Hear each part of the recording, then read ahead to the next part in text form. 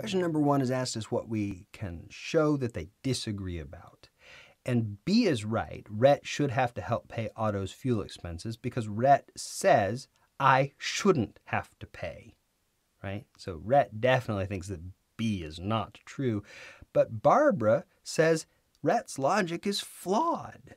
Barbara says, Your logic is flawed. You should, in other words, have to pay. The fact that I know Rhett thinks B is false, Barbara thinks B is true, that's the reason B is.